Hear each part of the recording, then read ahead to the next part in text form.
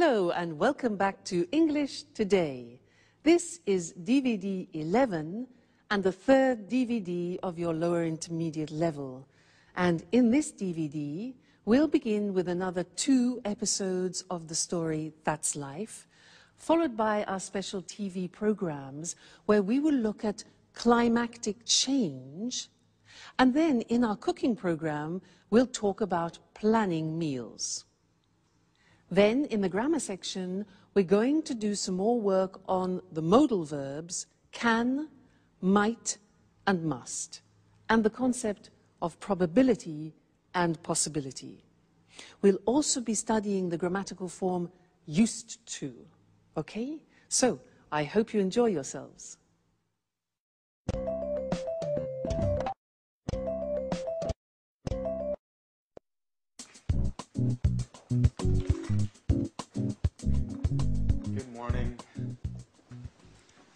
Alice, is Anne at home? I just met the postman, and this package is for her. No, she's not in now. My, what a large package. Please be careful. I think it contains fragile objects. Hey, Peter, do you know if it contains a set of porcelain plates that she won with the Sweet Biscuits bonus points? Well, I think so. At least that's where the package comes from. All right, Alice. I have to go now. See you later. Anne will be so happy. She's been waiting for it for a long time. Bye.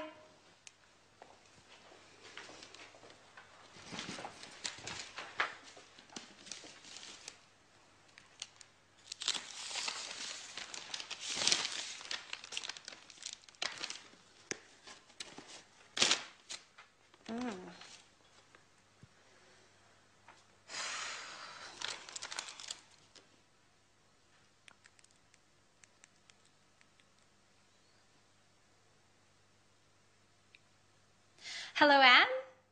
This is Alice. I've got great news for you. Your set of Chinese porcelain has arrived. They're beautiful. No, I opened it. I'm sorry, Anne. I just couldn't resist. Oh no, Anne, I'm so sorry. It broke. Okay, okay. I'm not allowed to touch any more plates. You're absolutely right. I'm so sorry.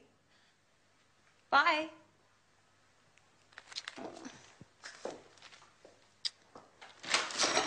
Jack, be careful. Don't touch anything. This packet contains Anne's set of Chinese porcelain. I hope you didn't break anything. I already broke a plate. And guess who heard me breaking it? Anne. Oh my. I didn't notice anything. Well, you should look where you are going. I'm I'm sorry. What are we going to do? Well, let's get ready for Anne to lose her temper. Who knows? Maybe she'll forgive us. Mm. She can't get that angry. They're just plates. Remember, we can't cook. If Anne gets angry, we'll have to learn to cook. That's true. I've got an idea. Let's go get something from the local takeout place. Then we can pretend that we cooked dinner. She might be happy and forget about those plates. That's a great idea. Let's get going.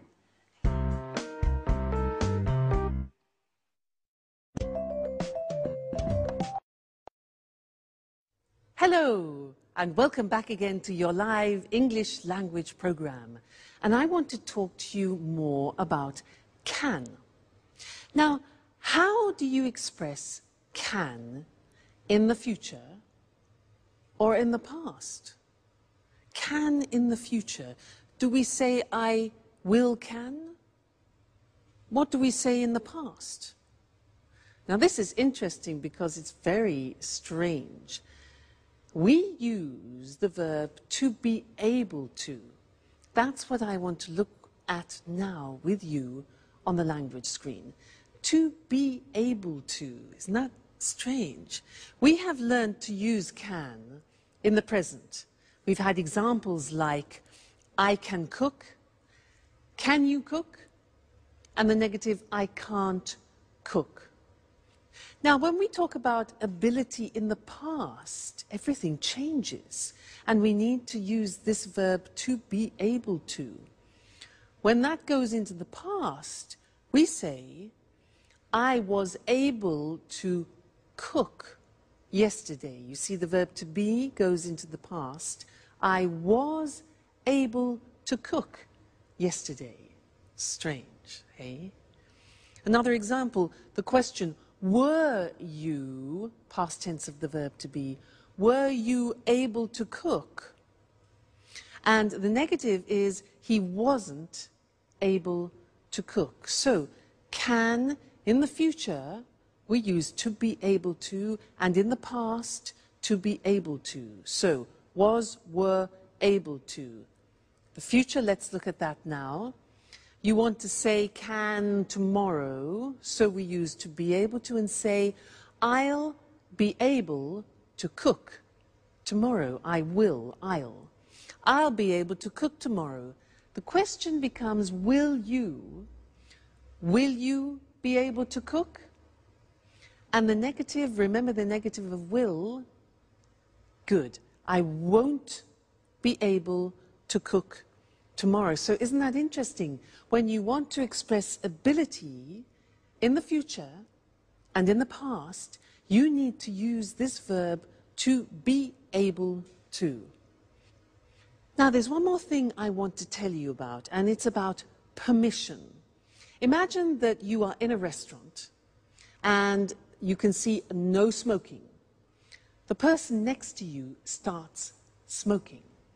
Now, it's a rule and a regulation that you can't smoke in a restaurant. So, what do you say to that person? In English, we say, uh, Excuse me, you're not allowed to smoke here. You're not allowed. See that? You're not allowed. Now, that pronunciation is difficult. Allowed. Okay? You're not allowed to smoke in here. For example, if you go to a museum, often they say no cameras. So you're not allowed to take photos. Okay? You're not allowed to take photos. Another example, if you go into a library and people are reading, silence. You're not allowed to speak.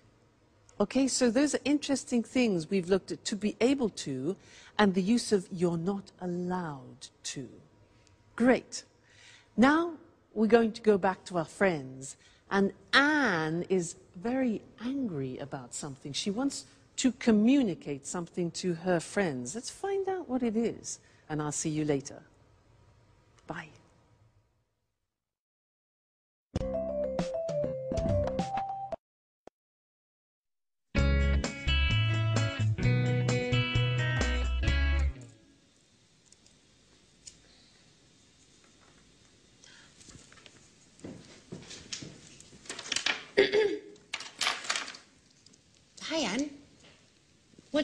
That you're holding? Hello, everyone. Listen. We need some rules in this house. Living together means obeying some rules. I've written this list of house rules that every person who spends time in this house must follow.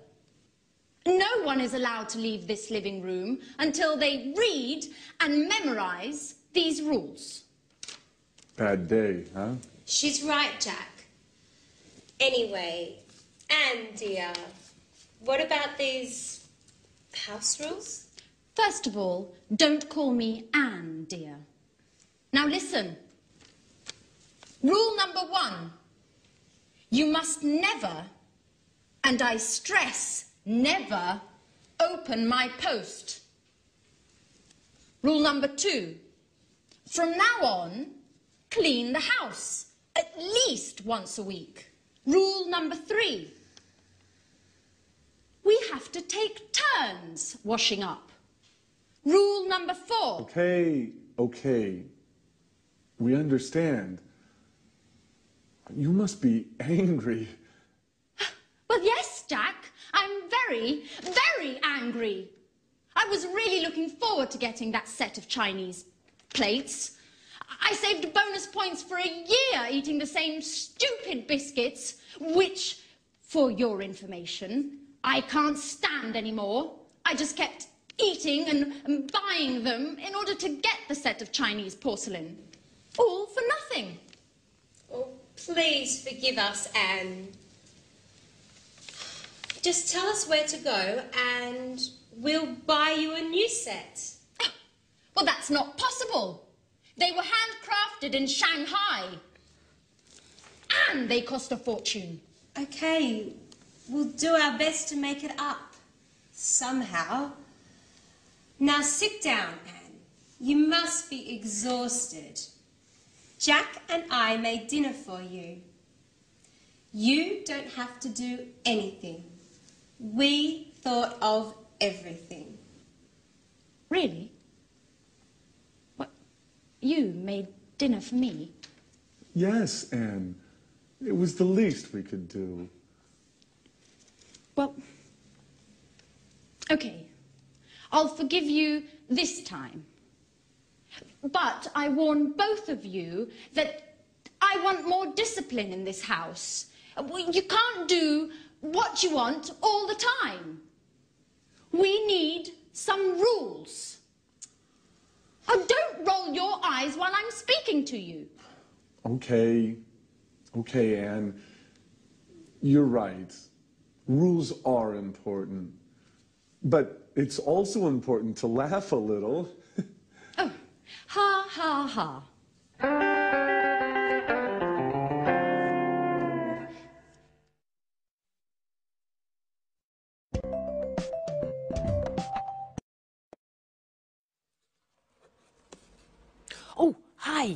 Hi, and welcome back. This is a box which my mother sent me, and she said there are some useful things for me. So I was just looking. Come and have a look with me. Oh, go. Oh, what's a strain? What's this? What is this? What's this? Well, it can't be a shoe, can it? It's not a shoe. Can't be a shoe because it's made of metal. Um, hmm. It's made of metal? Well, it might be some sort of lamp or something. Like it looks like an Aladdin's lamp, a special lamp. No, but it can't be that. Ah, look, here there's a sort of metal groove, probably for cigarettes. That's it. It must be a cigarette holder, and a type of ashtray, an oriental ashtray. How unusual. That's very typical of my mother. Useful, though. Now, did you see the language that I used? I said, it can't be a shoe. When I say it can't be, it means it's impossible. It's impossible, it's too small, and it's metal. So it can't be a shoe. So I'm talking about probability and possibility, okay? Then I said, well, it might be a magical lamp. Now, might is when you're not sure. Might is M I G H T. It might be a lamp. So when you're not sure, you say might. Then I said, no, no, no, no, no. It must be an ashtray. Now, when I say it must be, it's because I'm absolutely sure that the possibility of it being an ashtray is certain. Okay? So, three possibilities it can't be, might be, and must be. So, let's have a look at the other things in the box. Ashtray. Um, what is this? What's this? You see this? Well, it can't be, I mean, it, it looks like an, a negative from a film, doesn't it? it? No, it can't be a negative because there are no images. Um, well, it might be. You know, I just don't know. It, it, it, I mean, it might be some sort of special sticker that you put on things, but it hasn't got any glue. I don't know what it is. Just a minute. Look, here, here's something explaining it. A forehead thermometer. Put it on your head and it reads the temperature. What? Let's try that. So I put it on my head like this and said, hold it on your forehead and it tells you your temperature. Let's have a look. 37. Whew, that's hot. It is, it's a thermometer. Incredible. Now that is very useful because it's small. So interesting. Next thing, what's this? This is, look at this. Now, it's shiny and it's silver, but it, it, it can't be a mirror because I can't see myself. Can't be a mirror. What can it be? Oh, I know. It might be for under glasses. You know what I mean? Um, when you lay the table and you have glasses, sometimes you, you put it under to protect the tablecloth. Well, look what I have here. So this, for example. Yeah, but it's a bit strange, isn't it? I mean, it, no, it can't be. It can't be that, really. Not made of metal like this. Um, it must be... Um, I don't know again. Wait a minute. Here's the box. A drop stop. A drop stop. It must be something for pouring then. Uh, let's have a look. You put it, uh, let's try. I just so happen to have a bottle here. And it says, put it on the bottle like this. A drop stops, So it stops things from dropping and pour out the liquid and there are no drops. Let's try that. Let's try. Wow. That works. It doesn't drop. So it must be something for stopping drops. You can see. Fantastic. My mother is a genius. She is full of amazing ideas. Thanks, Mum. Let me show you the language that I was using then. We were talking about probability and possibility, and the, the first thing that we can talk about is when you are expressing strong probability, is when you think almost certainly you know what something is. So it must be an ashtray. So when I use must, I am 100% sure of something. It must be an ashtray. Now, if you are sure that it isn't something, that it is totally improbable, 100%, the opposite is it can't be. Like that. I said, it can't be a shoe, it's too small. So it must be it can't be. And then if you're not sure about something, we use, we use the simple verb might. Look at the spelling, M-I-G-H-T. It might be an incense burner, for example. We can also say it could be. Might, could, both express uncertain probability. All right, so this is very useful when you are making deductions must be, it can't be, and it, well, it might be. So those are the three verbs that we use. Okay? Great. So thanks, Mum, and I'll see you again very soon. Bye.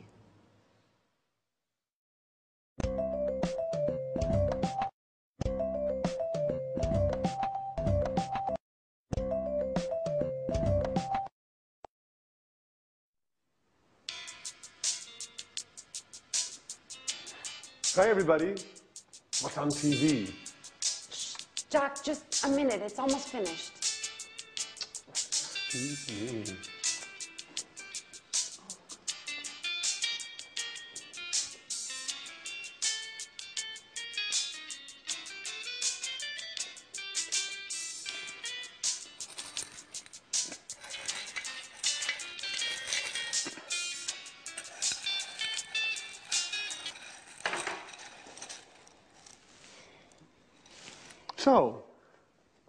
What were you watching that was so engrossing?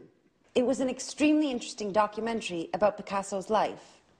There were lots of details about some of his stranger habits. Did you know that Picasso preferred painting women with four eyes? No, I had no idea. And that he had lots of different types of dogs. He used to give only dogs to his friends. Strange, isn't it? And that he liked eating Italian cake at Christmas. Well, I also go crazy for Italian cake at Christmas, and my name isn't Picasso. By the way, where is our resident artist, Alice? She left early this morning. She said that she had something important to do. She wouldn't tell me what. But she did say it was none of my business. You know how she is. That's strange. She usually leaves late. Well, as a matter of fact, she was very serious this morning. She told me she had a headache, but I didn't believe her. Oh, look. But it's getting late. I'm starting to get worried. Don't play mom, Anne. Alice is a big girl now. I know, I know. But it's just that but she didn't tell me she would be late. In fact, she asked me if I would be late today. Just a moment. A few days ago, Alice told me that she wanted to enter a painting contest. She said she thought it was her big chance. Maybe that's where she is today. Well, well, you're probably right. But it, it's almost midnight. I don't think contests last that long. Why not? We all know that artists are a little crazy. Picasso was a perfect example. That's true. You know something about being crazy, Jack, don't you?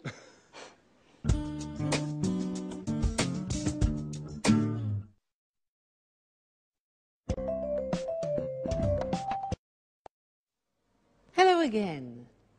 Did you hear them talking about Picasso? Some interesting things about him. They said he used to give only dogs to his friends. He used to give only dogs, and he used to eat Italian cake at Christmas. Now, this verb used to, well, it's written U S E D, but the pronunciation is used, and we'll see that on the screen later. And we use it to talk about habits that people have had in the past and now don't have anymore. And to illustrate this, I have some here, some examples of habits that I have had in the past. For example, this. This is a cigarette. Well, I used to smoke. Now that means that I did smoke in the past, but I don't smoke anymore. I stopped the habit. I used to smoke, okay? Look at this tennis racket, haha. I used to play tennis. I was quite good actually.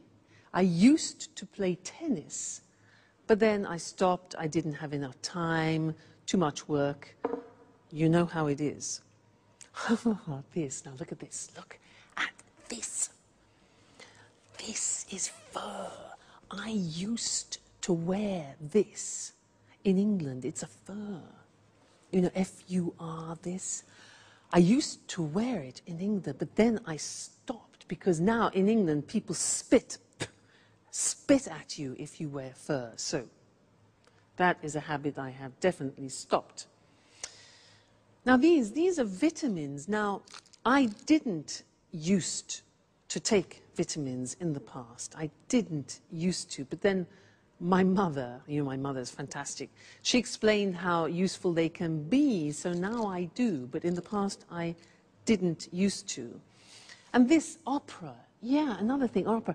I didn't used to listen to opera, but now I just love it. So I listen to it a lot. Okay, so there were some examples for you of used to. Let's go and look at the different forms on the board now. So, when we speak about habits that we had in the past and we don't have now, we use used to. Look at the spelling. S, it's, it's U S E D and then T O. But the pronunciation is not used, it's used. Unusual used. Okay? So the example is I used to smoke. And that's for all the subject forms. I used to, you used to, he used to, she used to, we used to, they used to. Okay? So I used to smoke. I used to play tennis. I used to wear fur. Okay? Pronunciation used. Now, in the negative, we use the auxiliary did. So I didn't use. Notice we take off the D because it's the infinitive. I didn't use to take vitamins and I didn't use to listen to the opera. And the question form is easy. It's did you use to do a lot of sports? Did you use to stay in bed until midday? I remember that. So if you think about your lives and about habits that you had in the past and you don't have now, when you talk about those to people, that's what you use. I used to smoke, but I don't anymore. I used to play tennis, but now I'm too busy. All right? So, very important for describing past habits. Used to. Great. That's the lesson for now, and I'll see you again very soon. Bye.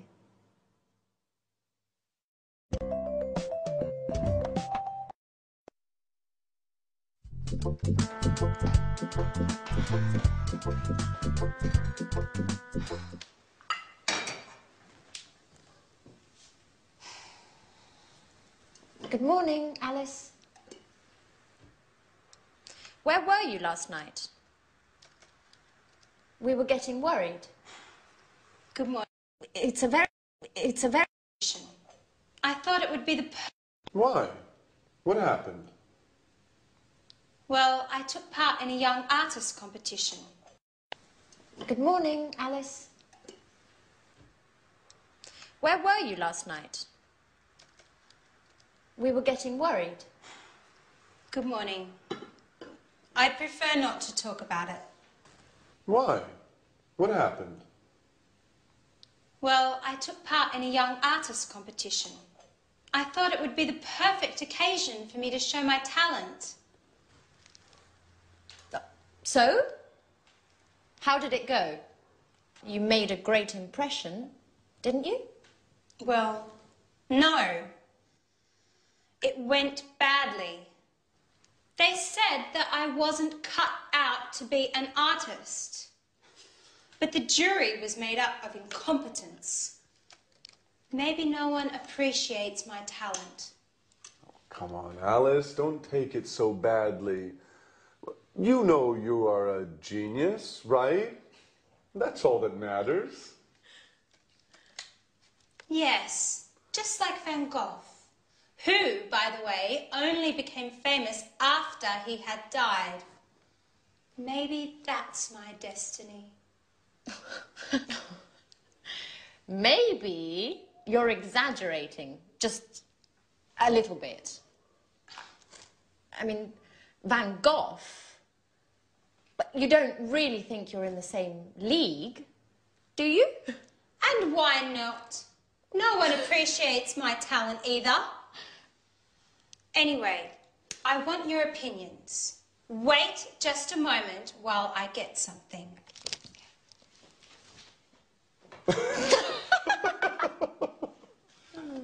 Oh, my goodness.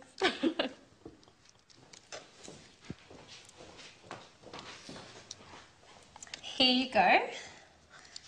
This is the painting I took along yesterday. What do you think? Isn't it beautiful? It's. it's interesting. Um, it's a very. Uh, a very unique painting. Yes. Unique is the right word. Uh, Alice, you know I don't really understand art, don't you? What does it represent? That's the same question they asked me yesterday. I can't believe that. It's so clear. It's a painting of a man and a woman walking hand in hand. Oh. I see. Um, well, the truth is, uh, it's a bit difficult to see. I mean, at first glance, it looks like a whole lot of mixed up colors. Come on, Jack. You just don't understand abstract art, do you? Well, now I understand that neither of you has any appreciation of fine art.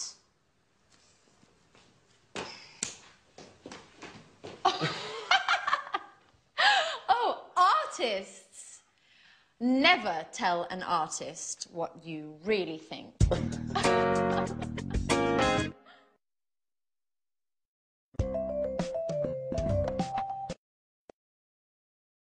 Hello again to you, and welcome back for some more English. Did you hear in that last episode how Anne said to Alice, So, how did it go? You made a great impression, didn't you? You made a great impression, didn't you? Do you remember that grammatical form, didn't you? A question, question, tag, yeah? Remember, we did a lesson about this, and the example we used was, she's unhappy, isn't she? Do you remember that? Yes, I want to give you a little test on it. And in order to do this well, you have to be very careful about your auxiliaries, so pay attention. Number one, you're married. Question tag. You're married, aren't you? Did you get that right, wrong, difficult? Do you remember? You are married, you take the verb, the auxiliary, and at the beginning it's positive, so you turn it into negative. You're married, aren't you? Try this. You didn't go to the party. Hmm. Didn't is negative, becomes positive. You didn't go to the party. Did you? Great. Next one. He lives in Paris. He lives in Paris. Lives, simple present. Auxiliary. Yeah.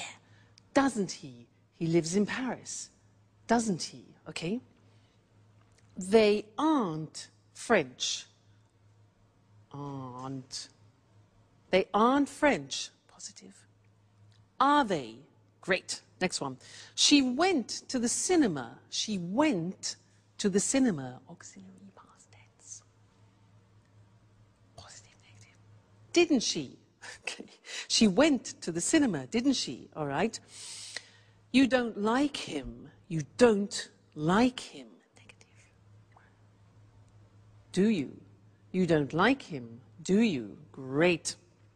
They were enjoying the show. They were enjoying the show. Past continuous.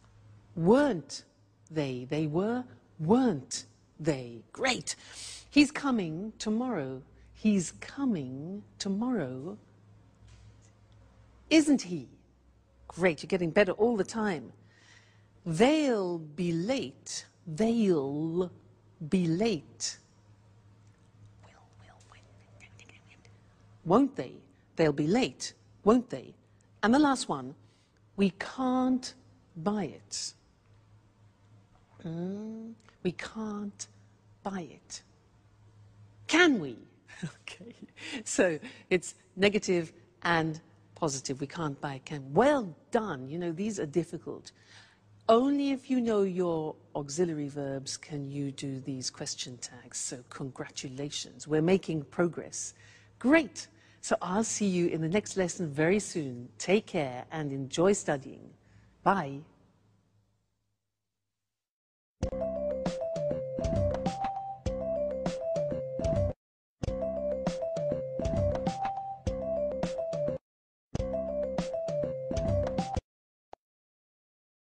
Good morning.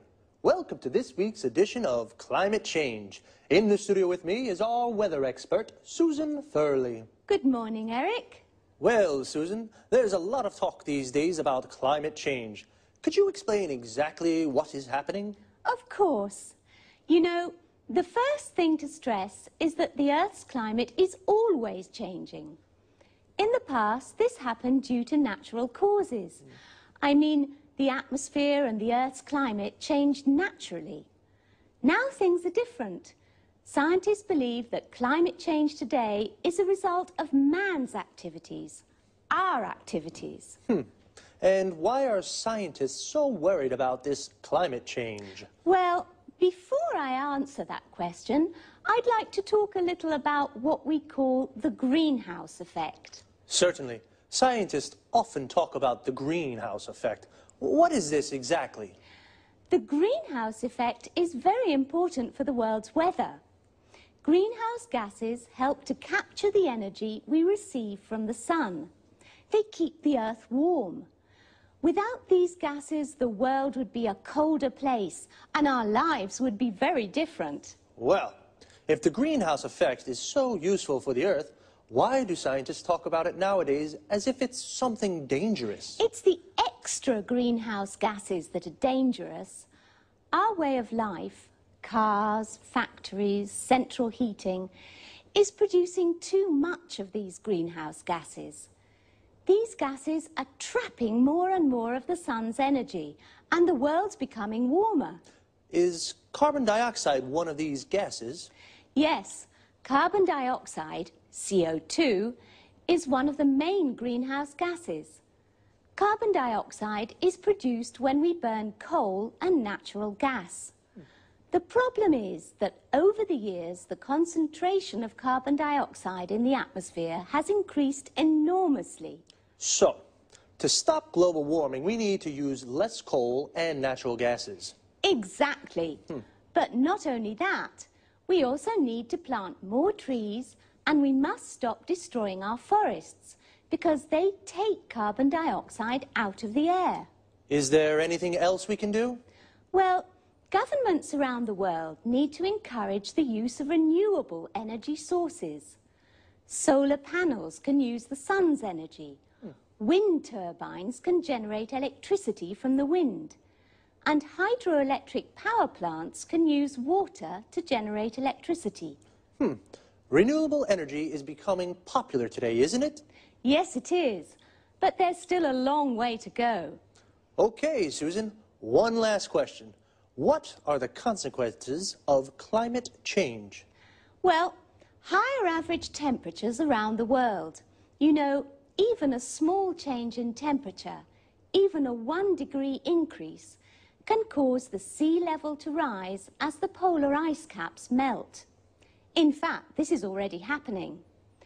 Other consequences. More rainfall in some parts of the world and less in others. More extreme weather conditions. Stronger hurricanes and typhoons. So, this is definitely a serious issue. We mustn't underestimate the importance of climate change, and we need to use more renewable energy. Well, thanks to Susan for your clear explanation of the problems. Thank you. Goodbye and goodbye and see you again next week for another edition of Climate Change.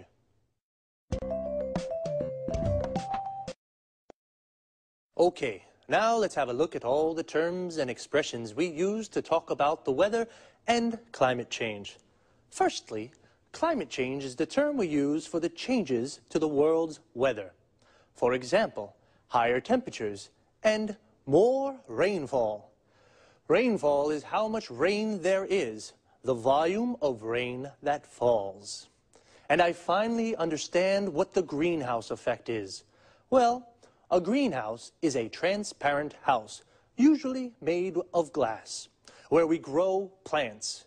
It gets very hot in a greenhouse. In fact, the greenhouse effect is the gases in the atmosphere that trap the sun's energy, causing an increase in temperature of the world.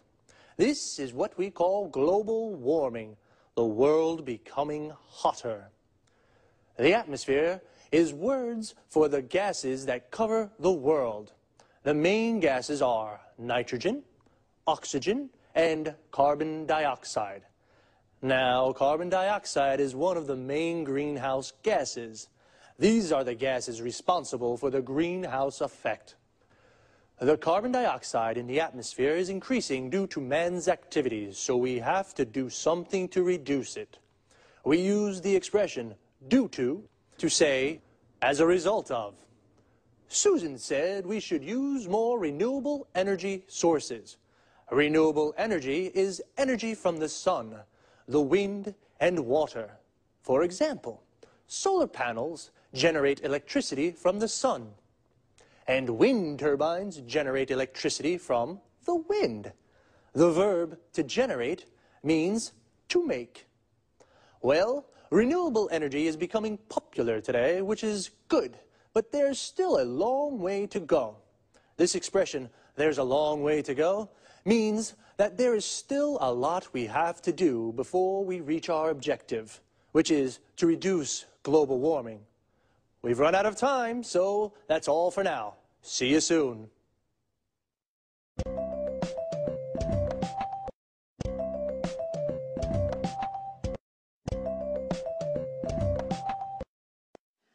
Welcome to Cooking Today. All homemakers will be thrilled to know that we're back with Lisa French. Thank you for inviting us into your lovely home once again, Lisa. I'm glad to have you. Now, Lisa, Leslie Forbes from Newcastle on Tyne is desperate. Her family's always complaining about her cooking. They say it's really, mmm, yucky. And they sneak out to get junk food. How can she make her meals more appetizing? Well, actually, it's just a matter of good meal planning.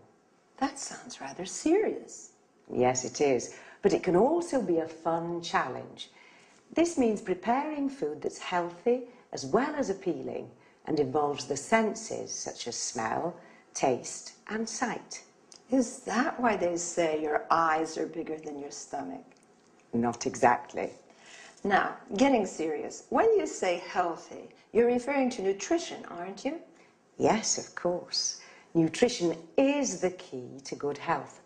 As a matter of fact, nutritionists agree that a varied diet is fundamental for physical and mental well-being. Well, what are the correct guidelines to good nutrition? As you can see, I have an example of a food pyramid here. These six main food groups contain the nutrients essential to a well-balanced diet. Why a pyramid? Because it enables us to understand the correct number of servings per day. Can you give an example? Certainly. You see, the largest group includes bread, cereal, rice, and pasta. Then, going up the pyramid, you find fruits and vegetables, then meats and dairy products. What's at the top? You mean here?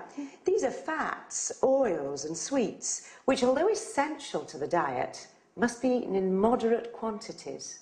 Now, going back to Leslie's request, how can she make tasty meals for her family? If she hasn't much time for shopping, she can make a weekly plan. Besides a correct diet, she must consider the likes and dislikes of her family. You're telling me. In my family, my son hated beans and my daughter was allergic to milk. That's a common problem. The thing is to compensate with food belonging to the same group or supplements. Really? That's good to know. A little secret. If you truly enjoy preparing meals, then your family will probably enjoy eating them. How can I get my family to enjoy my cooking? Just be creative. Think like an artist. Play with the colours, shapes, and texture of food. Oh my gosh, how time flies. We've got to wind this up. Lisa, thank you for inviting us into your home again. It's been a pleasure being here. Thank you for coming.